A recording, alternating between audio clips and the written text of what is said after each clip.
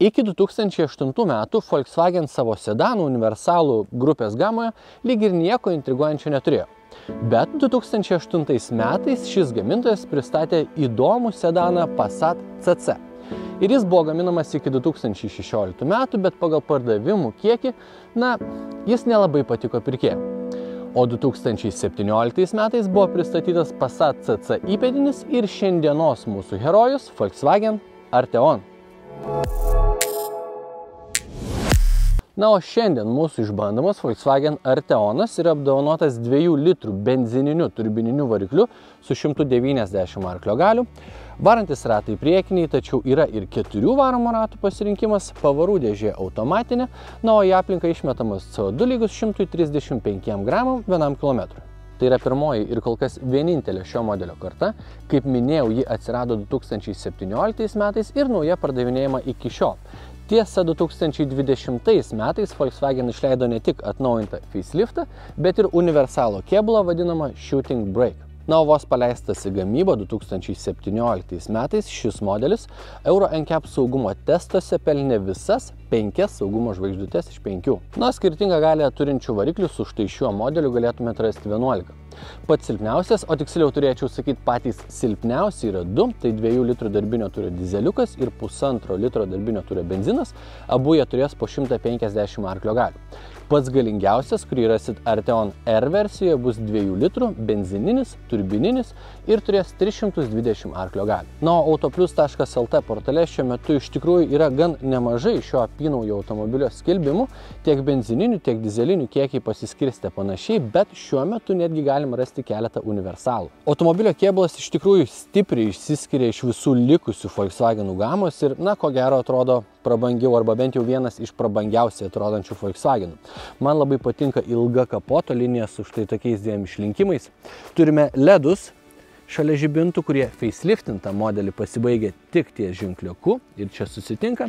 Turim milžiniškas Volkswagen šeimos groteles ir turime štai tokias angas šonuose, kurios nėra angos dėl grožio, nes jos yra funkcionalios ir yra skirtos praeiti orui. Automobilio ilgis 4,87 cm ir jis yra pakankamai ilgas savo klasiai. Aukštis nuo žemės 13,8 cm, tai daug važiuojant iš žvyrkelio ir bekelė, aišku, tokio automobilio jau pirkti neturėtų. Turim keletą prabangą kūrinčių detalių, kaip, pavyzdžiui, chromas aplink langus, apačioje arba ant sparno. Turim juodą kėbulą kombinuotą su tamsintais langais ir juodais originaliais 20 colių ratlankiais, kas atrodo mano galva pakankamai gerai. O viena man labiausiai patinkančių detalių - tai šie berėmi langai. Mm. Na, o gale štai šis šeimininis universalas turi spoilerį su integruotu iš tikrųjų ilgų stop žibintų Milžiniškas modelio užrašas, siauri žibintai, kurių dizainas pasikeitė nuo nefaceliftinto modelio, siauri atšvaitukai ir siauri duslintuvai, kurie žinoma yra netikri ir kurių gylis siekia maždaug 1 cm.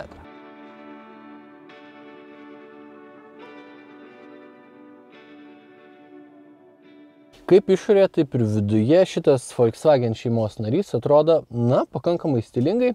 Šį kartą ir laukas, ir vidus yra tamsus, turim tamsias sėdynės, tamsias lubas, tamsią centrinę konsolę su keletu šviesesnių apdailų, sakykime, kaip štai čia, ar karbono apdaila štai čia. Nežinau, man bendras vaizdas patinka, bet atskirą paminėjimą noriu skirti salono apšvietimui. Štai čia eina juosta, ant tų durų eina juosta, štai čia eina juosta, o va šitoj vietoj dabar aišku nesimato, bet yra mažyčiai, mažyčiai burbuliukai, kurių apšvietimą mes galim pasirinkti kokią tik norim spalvą. Gerai, ne kokią tik norim, bet galim rinktis iš ko ne 20 spalvų. Tai tas yra labai faina ir naktį kuria labai tokį jaukumą. O dabar, aišku, mes privalom pasižiūrėti ir medžiagų kokybę. Tai čia, kur alkūnės dedu, viskas ok. Čia irgi minkštos medžiagos. Ir netgi čia minkštos medžiagos. Šaunuolis arteonas, na, čia aišku, turbūt judinti nieko nereikia. Bet labai viena malni detalė yra štai šis porankis, jis ne tik išsitraukia į priekį, bet dar pasikelia aukštyn ir užsifiksuoja, kad važiuodami galėtumėt pasidėti alkūnį ir turėti maksimalų komforto lygį. Bonus Harman Kardon garso sistema su aštuoniais garsiakalbiais. Dabar pasakysiu šitą malonaus apie sėdynės. Jos ko gero yra vienos iš patogiausių, kokiuose esu sėdėjęs Volkswagen modeliai. Ne per kietos, ne per minkštos, maloniai įrėmina į šonų. Jos yra verstos sodos, tai yra gerokai maloniau tiek karštą vasarą, tiek šaltą žiemą nei paprasta oda, jos valdosi, sakykime, atlošas valdosi elektra, bet visa kita valdosi mechaniškai, bet kokiu atveju pykti negaliu, nes tai ko gero yra vienas tinkamiausių automobilių krepšininkam, nes, na, pažiūrėkit, kiek aš atsistumiu ir kiek aš daug vietos turiu ir kiek daug vietos netgi yra iš šono. Plus, šiek tiek reguliuojasi ir pats vairas. Kalbant apie multimediją, man jinai patinka pagrindė dėl trijų dalykų. Tai visų pirma, jos veikimo greitis yra labai geras, paspaudį ir vyksta, paspaudį įvyksta. Aišku, na, greitis nėra toks kaip naujose Mercedes Benz, bet iš tikrųjų neblogas. Antras dalykas, ji labai gražiai integruota, ji niekur neišsikišusi, tai, na, ir dizainas gražus, ir netrukdo mūsų matomumui. Ir aišku, trečias dalykas, čia yra visos reikalingos funkcijos. Nustatymai, navigacija, Bluetooth telefono sąsaja, Apple CarPlay, Android Auto veikia be laido. Žodžiu, viskas yra tvarkoj, bet aišku, aš čia išvelgiau ir porą minusų. Vienas, tai kad multimedija, na, sakykime, labai nusičiupinėja ir pašvietų saulė, iškart viską pamatysi, tai ją reiks karts nuo karto pravalyti. Antras dalykas, ko nebuvo nefaceliftinta modelį, tai čia yra garso tapšnoklis, kuriuo naudotis tikrai nepatogu ir garso ratukas būtų gerokai patogiau. Ir multimedija netgi turi vieną funkciją, kurios turbūt nenaudosit, bet rankos mostų čia galim pereiti iš vieno meniu ekrano į kitą. Na, it's something. Na, o kad jau esam čia, pasižiūrėkim ir į galinio vaizdo kamerą. Tai mes turim vaizdą iš viršaus, kada galim matyti aplink visą automobilį, galim atskirai įsijungti galinę kamerą, kur sukant vairą sukasi šiek tiek ir juostelės, rodydamas mūsų pasukimo kampą, turim net ir priekinę kamerą, jeigu norėsim ant kažkur statesnį užvažiuoti. Žodžiu, su kamerų kiekiu viskas gerai, tik kokybė galėtų būti bent truputėlį geresnė. Klimato kontrolę turim dviejų zonų, tokią rasit standartiniai šio automobilio komplektacijai. Pradėsiu turbūt nuo to, kad faceliftinta modelį jį yra pasikeitus, ne faceliftinta modelį mes turėjom įprastus Volkswagen šeimos ratukus su keletu fizinių mygtukų, kur valdymas buvo labai įprastas ir visiškai patogus. Na, šį kartą dėl grožio turim turėti keletą aukų, nes visi tiek viršuje pagrindiniai esantis mygtukai yra lėtimui jautrus, šildymo vieta yra lėtimui jautri, putimo vieta yra lėtimui jautri. Nu, žodžiu, valdymas nėra labai prastas, bet prieš tai buvo gerokai patogesnis. O jeigu šitų mygtukų aišku neužteks, tai turėsit pereiti ir į pagrindinį multimedijos meniu. Tiesa, šitoje vietoje slepiasi ir sėdynių šildymo mygtukai. Gerai, pradžiui pakalbėkime apie vairuotojo rodmenis, juos pagirsiu, paskui išpeiksiu multifunkcinį valdymą. Žodžiu, vairuotojo ekranas yra skaitmeninis, čia yra keletas skirtingų vizualizacijų, ko ne gal keturios ar penkios. Čia galima persikelti navigaciją į mažą ekranėlį, galima persikelti navigaciją per visą ekraną, galima matyti skirtingus nustatymus, Apple CarPlay telefoną ir taip toliau. Tai žodžiu, nesiplėsiu, bet viskas čia gerai, galite pasirinkti kokią norit spalvą ir viskas veikia greitai. Ko gero, vienas iš man man labiausiai patinkančių skaitmeninių vairuotojų ekranų rinkui.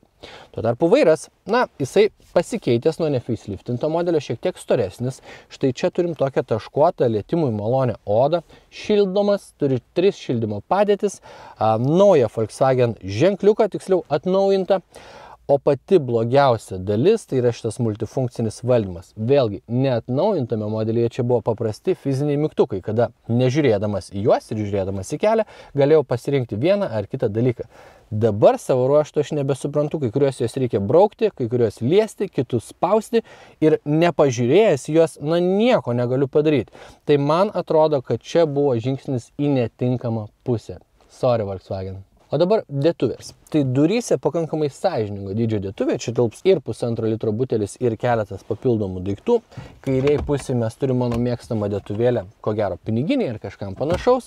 Štai čia turim vietą su bevėlio pakrovimo funkcija skirtais D telefonui, kuris čia puikiai telpa.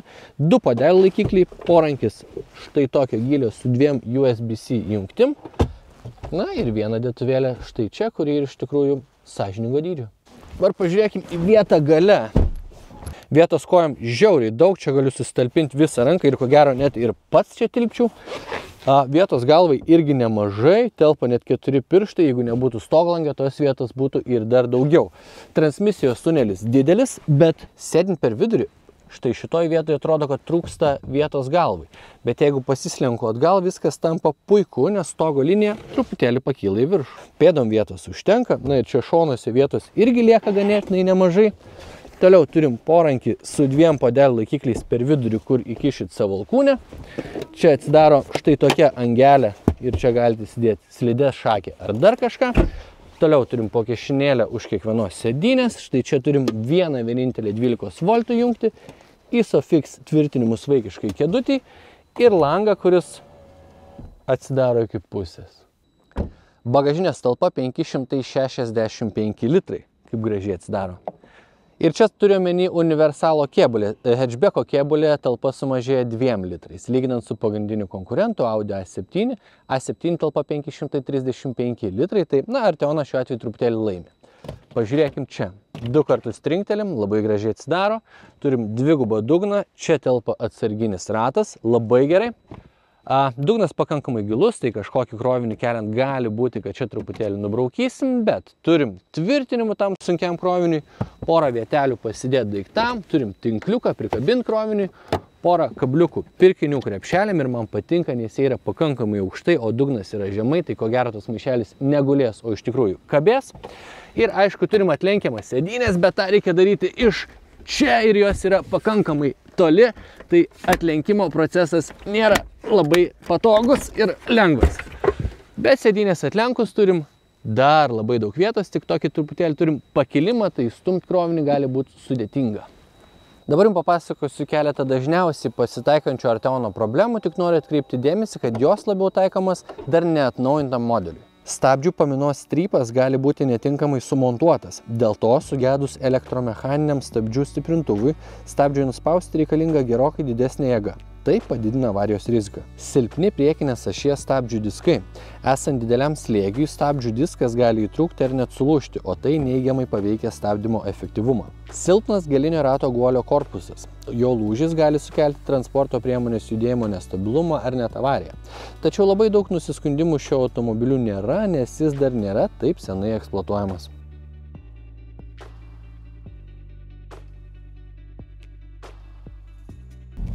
Išvažiavus į kelią su tokiu automobiliu iškart pajaustumėt, koks jisai yra komfortiškas. Tiek kelio neligumai, tiek gulintis policininkai, duobės įvairiausias, net su 20 colio ratlankiais e, automobilis susitvarko iš tikrųjų gerai. Aišku, jeigu tie ratlankiai būtų biški mažesni, nu, tai turbūt truputėlį mažiau prisistabdyti prieš tos kalniukus reiktų. O jeigu jūsų rankas netikėtai pateks Arteonas su adaptyvia važiuoklė, tai busit absoliučiai patenkinti. Kalbant apie valdymo savybės, tai man šiek tiek užkliuvo didokas susisukimo spindulys, bet aišku ir pats automobilis yra labai didelis, tai ko gero nereiktų dėl to labai pykti. Šiaip važiuoklė vairo judesių klauso pakankamai jautriai, vairas sukiojasi lengvai, stabdžiai jautrus, bet ne per jautrus, tai viskas su juo lyg ir tvarkoj. Įjunkim sport važiavimo režimą. Taip, kas čia įvyko, tai akivaizdžiai pasunkėjo truputėlį vairas, mums nebeleidžia automobilis daryti tokių staigių judesių. Pavarų dėžė persijungė į sport režimo, kuomet jį pavaras perjungė šiek tiek vėliau, tai yra, na, ilgiau išlaiko bėgį, kaip dabar galbūt girdisi. Ir aišku, gerokai sujautrėjo akceleratoriaus pedalas. Tai su automobiliu manau, kad būtų galima šiek tiek smagiau važiuoti, bet nieko ypatingo, sportiško čia tikrai nerasit, nes, na, netam jis ir buvo pagamintas. Kalbant apie važiavimą užmiestyje, tai šitas automobilis praktiškai viską atliks už jūs. E, automobilis turi tiek juostų palaikymą, tiek adaptyvų autopilotą, tai viską, ką jums reikės pasidaryti kelioniai, tai nusistatyti, tai yra įsijungti juostų palaikymą, nustatyti atstumą iki priekį važiuojančio automobilio ir nusistatyti pastovų greitį. Viskas, visa kita už jūs padarys automobilis, o jums tiesiog reikės, na, laikyti vairą ir viskas. Aišku, ir lenkimo manevrą reikės daryti patiems, bet tiek tai jau tikrai galite padaryti. Pavarų dėžė pas mus šį kartą yra automatinė, septynių pavarų, pavaras įjungia labai sklandžiai, tiek jeigu startuoju staigiau, tiek jeigu startuoju švelniai, tiek iš eigos, viskas su pavarų dėžė gerai. Ir tokiam automobiliu tikrai rekomenduoju rinktis automatinę pavarų dėžę, nes su ja, na, komforto lygis bus gerokai didesnis. Fakto dėlį paminėsiu, kad automatinės pavarų dėžės su šiuo modeliu galėtų būti 7 arba 8 pavarų, mechaninės 6 pavarų. Kalbant apie sąnaudas, tai toks 2 litrų benzininis turbininis variklis su 190 arklio galių paskutinės dvi dienas man ėmė 9 litrus 100 km ir tai yra mano galva ganėtinai sąžiningas rezultatas automobiliui su tokiu varikliu, kuris pilnai pakrautas sveria daugiau negu 2 tonas 100 kg. Jeigu ieškot geresnių sąnaudų, e, tai rekomenduoju pasidairyti į dizelinius arba pusantro litro benzininį variklį. Tai ten bus e, gerokai ekonomiškesnis važiavimas, bet aišku ir galios turėsit šiek tiek mažiau. Garso izolacija automobilyje nebloga, nei padangos nesigirdi, nei vėjas už lango, gal truputėlį girdisi kažkokie tai dalykai ir pravažiuojantis automobiliai dėl to, kad langai yra berėmiai, jeigu jie būtų su rėmu, tai būtų dar tiliau, bet vienintelis garsas, kurį realiai važiuodamas girdžiu, tai nuspaudęs akceleratorių, na, garsesnį variklio darbą, bet tai bus tam tikri momentiniai dalykai ir ilgai kelyje važiuojant jūs to negirdėsite, tai žodžiu, situacija su garso izolacija gera. Nesusidarykit įspūdį, kad tokia gera kaip naujam Mercedes ar BMW, bet lyginant su kitais valstybėmis, Volkswagenais čia situacija labai gera. Na ir paskutinį dalyką paminėsiu, kol važiuojam, tai matomumas. Tai priekį situacija labai gera. Priekinis stiklas didelis, statramšiai ploni. Veidrodėliai, na, gal ir galėtų būti truputėlį didesni, bet skustis neturiu kuo. Šitas veidrodėlis kabo aukštai, tai čia irgi viską matau, bet situacija gale gerokai prastesnė. Stori statramšiai, mažas stiklas, netgi galinio sėdinių atlošai ir tai truputėlį užstoja vaizdui, o jų, na, kiekvieną kartą tikrai nenuiminėsim. Tai ko gero tamsų vakarą parkuotis atbulomis į mažą parkavimo vietą bus tikrai sudėtinga, e, ypatingai jeigu savo komplektacijai neturėsit galinio vaizdo kameros. Ačiū Dievui, parkavimo įtikliai gale bus jau standartiniai kiekvieno Arteono komplektacijai.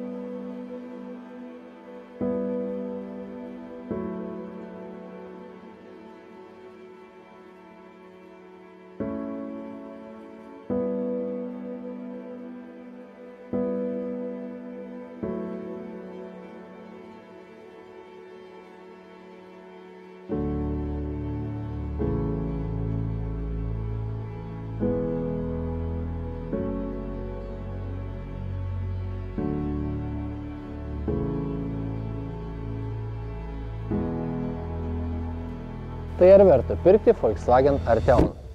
Na, automobilis stilingas, komfortiškas, talpus. Lyg ir norėtųsi sakyti, kad verta. Bet, ko gero, visas tas pačias savybės, na gal išskyrus tik išskirtinį dizainą, turi ir Volkswagen Passat. Tik už gerokai pigiau. Tai ar verta mokėti už stilių daugiau, spręsti turbūt kiekvienam iš mūsų atskirai.